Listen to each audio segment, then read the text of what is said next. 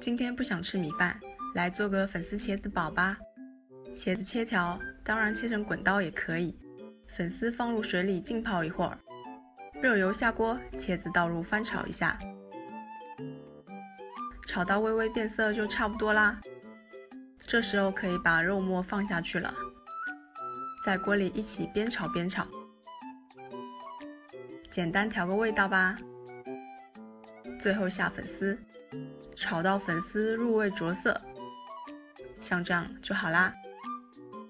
咕噜咕噜，太香啦！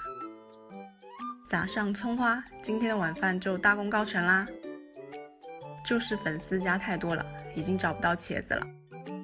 你也来一口吧。